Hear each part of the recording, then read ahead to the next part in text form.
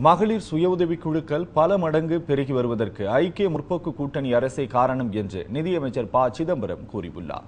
சிவகங்கையில் மாவட்ட ஆட்சியர் வளாகம் அருகே அமைக்கப்பட்டுள்ள ஸ்டேட் வங்கியை நிதியமைச்சர் ப. சிதம்பரம் திறந்து வைத்து மக்களுக்கு கடன் உதவிகளை வழங்கினார். அப்போது பேசிய அவர் வங்கிகளின் கிளைகளை திறப்பதால் பணப்புழக்கம் அதிகம் ஏற்பட்டு தொழில் வளம் பெருகும் என்று கூறினார்.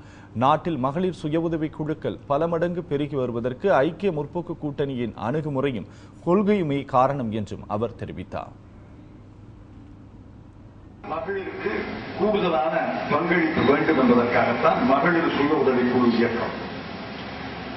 இந்தியா முழுவதும் கடந்த ஒன்பது ஆண்டுகளிலே நம்முடைய ஐக்கிய முற்போக்கு கூட்டணி அரசுல இந்த மகளிர் சுய உதவி குழு இயக்கம் என்பது பல மடங்கு பெருகி இருக்கிறது பல மடங்கு. குறிப்பாக தமிழ்நாட்டிலே மிக மிக பெரிய அளவிலே இந்த இயக்கம் விரிந்திருக்கிறது என்றால் அதற்கு காரணம் நம்முடைய அரசினுடைய கொள்கை நம்முடைய அரசினுடைய அணுகுமுறை வங்கிகள் மூலமாக இவர்களுக்கு நாம் தருகின்ற கடன் உதவி.